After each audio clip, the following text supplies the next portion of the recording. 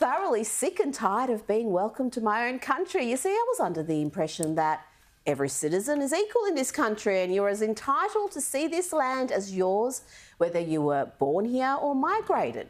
Certainly, the colour of your skin and your ancestry wasn't going to determine the value of your citizenship. But such notions have been disregarded as the Albanese government, together with the corporate elite, try to enshrine racial privilege into the constitution. And one of the corporates heavily backing the race based referendum is Qantas.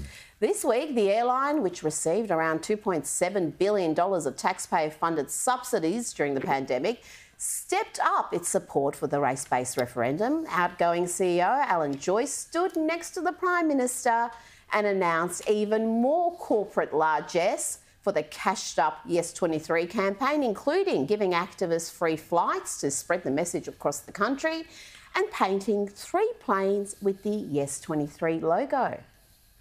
These aircraft will cover a huge amount of the country.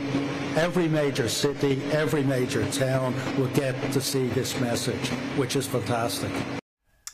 What sort of profound corporate idiocy would motivate any business to so loudly back a contentious, divisive, race based proposal that is floundering in the polls? We've had four major polls in the past month, all showing the same thing. The latest, commissioned by the Nine Papers, showed the yes vote plummeting further nationally, trailing the no vote 46% to 54. Why are corporates like Qantas wanting to disaffect more than half the population? One could be forgiven for believing there are other motivations at play for Qantas hmm. beyond vacuous corporate virtue signalling on a matter that has nothing to do with the aviation industry. It was only a couple of months ago that the Albanese government rejected Qatar Airways' request for more Australian routes that would have disrupted Qantas's grip on landing rights and expose the flying kangaroo to some much needed competition.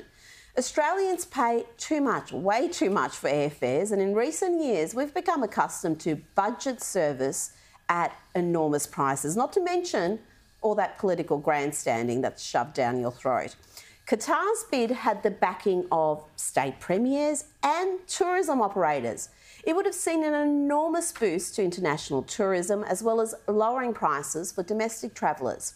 Earlier this month, industry modelling revealed that the decision to block, block Qatar's bid will cost the Australian economy more than $500 million a year in lost tourism revenue. The only beneficiary of this boneheaded decision appears to be, you guessed it, Qantas. Also, earlier this month, you may recall Qantas and Alan Joyce were widely mocked for offering Anthony Albanese's 23 year old son membership to the ultra exclusive Chairman's Lounge. Now, normally only the captains of industry, A list celebrities, and federal politicians can access chairmans, but somehow a university student was deemed worthy. That seems normal. Now, I would never, I would never suggest there was a quid pro quo in any of these arrangements, but one can understand why many people believe that to be so. Qantas is no longer the spirit of Australia. It is a substandard service charging premium rates protected from market forces by a government backed oligopoly. It would be wonderful if the incoming CEO, Vanessa Hudson, could focus her energies on restoring the airline to its former glory and, I don't know, leave the empty moral posturing to the politicians.